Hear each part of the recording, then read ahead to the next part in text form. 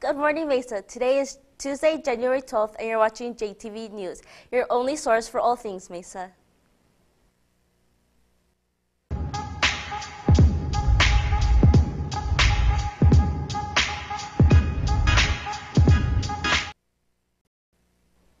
Please rise for the Pledge of Allegiance.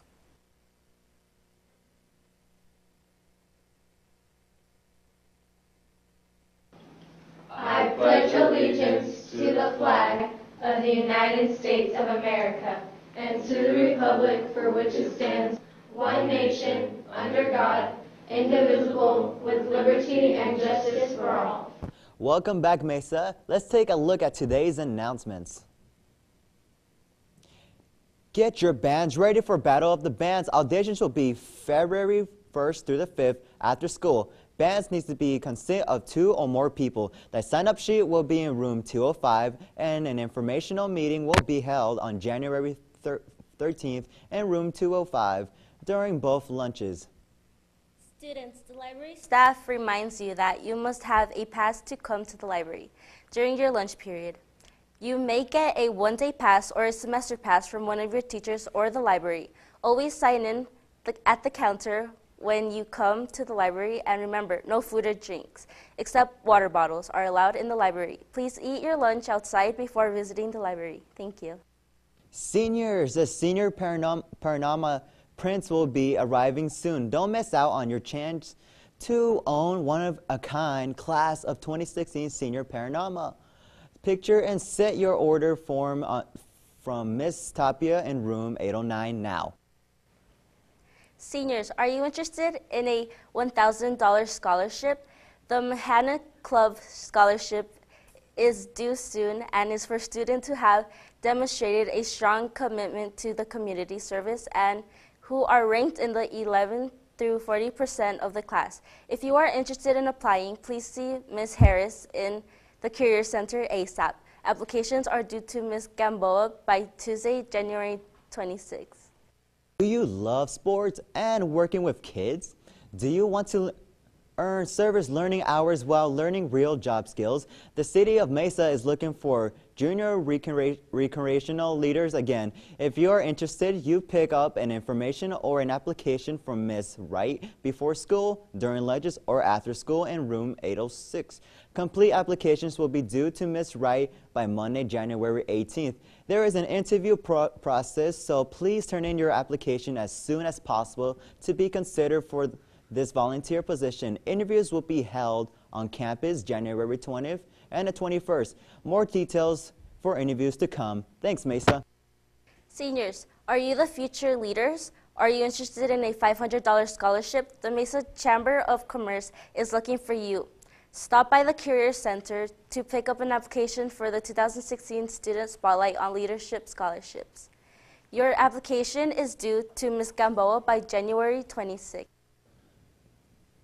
Students, do you have a favorite teacher who should be considered the Teacher of the Year? The Mesa Chamber of Commerce will like to hear from you. Nominate your favorite Mesa Public Schools teacher for a chance to win the title of Teachers of the Year and $500. Please see Ms. Harris in the Career Center. For the information in room, nominations are due to Ms. Gamboa by January 26. Attention Art Club members. This is a reminder to finish your gallery submission if you have not done so already. Once completed, bring it to Mr. Fields, room 207. Our meeting of the year will be this Thursday after school in room 207 the art room. Come and join us and make the job art. Have you set a New Year's resolution to become more social or to meet new friends? What about to earn service hours to help your community? Well, here's your chance. Join to the Be a Leader Avid Club and meet lots of new people who, while having fun. Our meetings are every Tuesday after school in room 126. We hope to see you there. Attention hosted students who are registered for an online test. Tests will occur during second, third, and both fourth and 4B in room 703. Be sure to arrive as soon as possible. If you don't have class in the biotech building one of those hours, see Ms. Cherry for a pass before that. Also, don't forget we have a Biotech Academy and HOSA meeting on Wednesday at 3.15. Sophomores and juniors, are you interested in attending EVIT next year for their classes or for their cus- cosmetology program? The EVIT applications are here and available in a counseling office. You must fill out an application with all the documents required, attending discipline and immunization records, plus an official transcript. So come to the counseling office for the EVIT application and get them returned to EVIT as soon as possible in order to get the best chance to be selected for the program of your choice and see Ms. Donald, Mr. Donald, for questions. Let's take a look at the at this week's episode of College Trivia. Hello Mesa High, my name is Mustafa, and I have this week's college trivia question. But first, congratulations to Thomas Briggs for answering last week's college trivia question, which was, what city is NAU located in?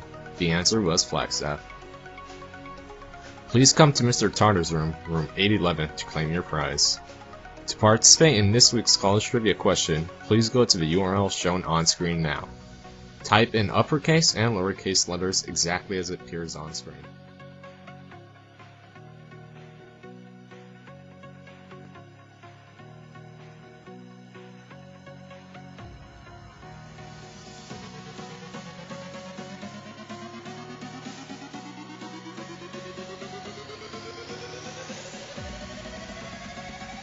This week's question is, what is the acceptance rate of UCLA? Answer quickly, because the first person to answer correctly wins.